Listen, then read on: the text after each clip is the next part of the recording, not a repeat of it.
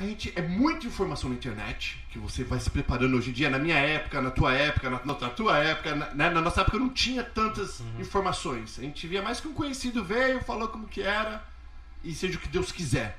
Agora não, agora tem informações demais e tem muitas informações mentirosas também. Uhum. Tem, tem do, como tudo na vida, tem um lado bom e um lado ruim. E a gente sempre procura o que soa gostoso no ouvido. Uhum. Né? A gente é atraído pelo que, pelas pessoas que falam o que a gente quer ouvir. Então, antes de, de falar sobre o seguro com a Ana, quando o recém-chegado chega, recém-chegado chega, óbvio, que ele vai atrás de um carro. Eu falo que eu já fiz centenas de assessoria de eu levar a pessoa. Né? E geralmente eles falam, não, eu tenho 5 mil, eu tenho 10 mil, eu tenho o que for, não vou passar disso. Aí ele chega lá no pátio e vê um carrão. Aquele carrão brilhando Daí ele olha, custa 15,990. Dele, a primeira coisa que ele fala, mas no Brasil Não. custava 100.990. Eu quero esse. E aí ele vai falar com os vendedores de carro. Como que vocês fazem? Por exemplo, o cara que chegou com, com budget para gastar 10 e agora ele quer 15.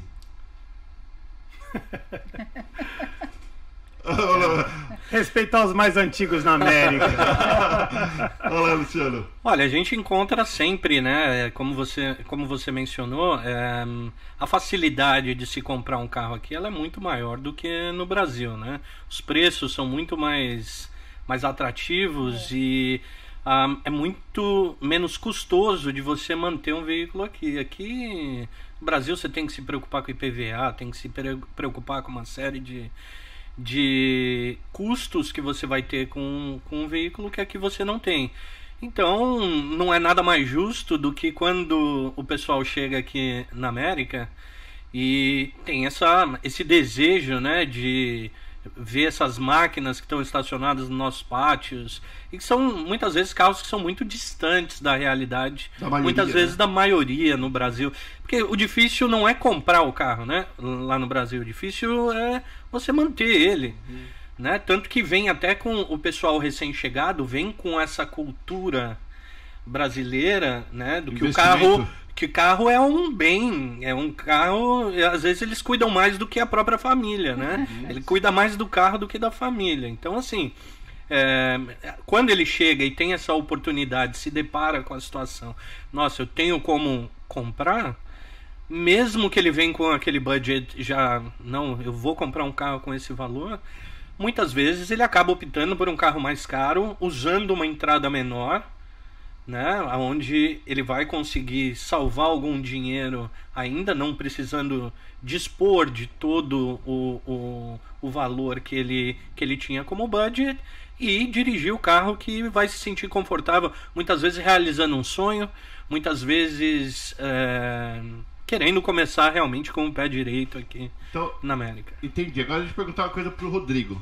Rapidinho. Deixa eu. Mas eu tenho uma parte dessa resposta também. Então fala, Rodrigão. É muito rápido. Assim, eu costumo analisar, e nós lá na nossa loja costumamos analisar primeiro o que o cara quer, uhum. depois o que o cara necessita efetivamente, na sequência o que ele pode.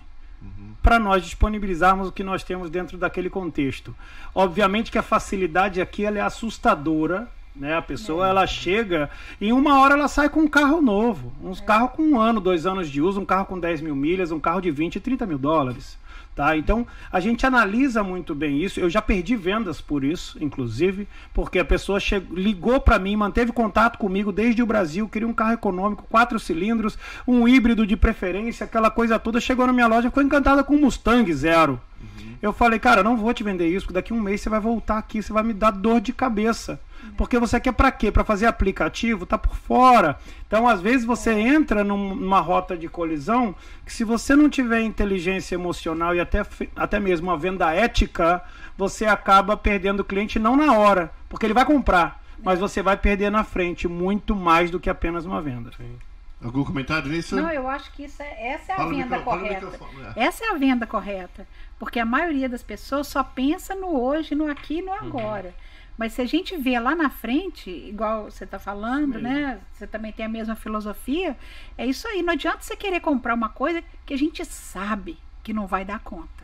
Verdade. Porque vai fazer uma prestação, acabou de chegar aqui e não faz ideia que aí vai ter o aluguel, Isso vai ter aí. a pagar o cable, vai ter que ir. Quando vê, a pessoa tá até aqui, ó. Ele raspa a conta e aí quando vai ver o down payment do seguro, Isso já ia aperta. É. Era isso que eu ia falar. Já É. aperta. Às vezes fala, o cara fala assim.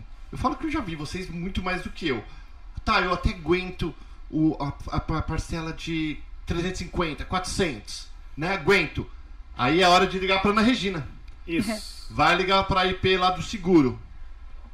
E aí tem mais 150, 200 em cima da parcela. Então o carro que era Se for um 400. E às Mustang é vezes mais. é um down de 300, 400 dólares, porque é, É, primeiro seguro. É, primeiro seguro, às vezes eles têm a carteira do Brasil, o que não é problema É. para o seguro.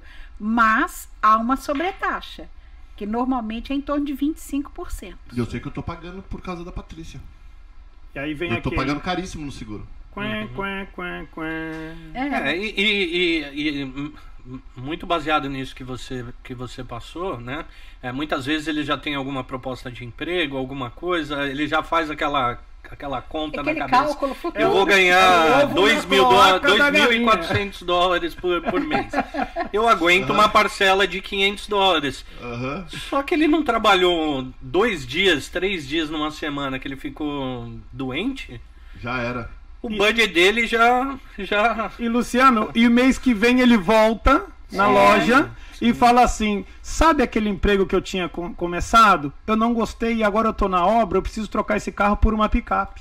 Ah, Ele quer que você Acontece pague muito. o mesmo preço que Sim. você vendeu, ele quer que você compre. Então a venda ética, por mais que você desmanche um sonho momentaneamente, ela é muito mais efetiva. sim, E sim. no futuro essa pessoa vai estar É. contigo sempre. Agora tem outra pergunta que eu quero fazer. Ó, tem uma galera que falou que tá chegando agora nesse mês em Orlando que tá ao vivo aqui com a gente. E vai lá conhecer a loja, pessoal. Vai, vai atrás, faz a correria. Para o ímpar.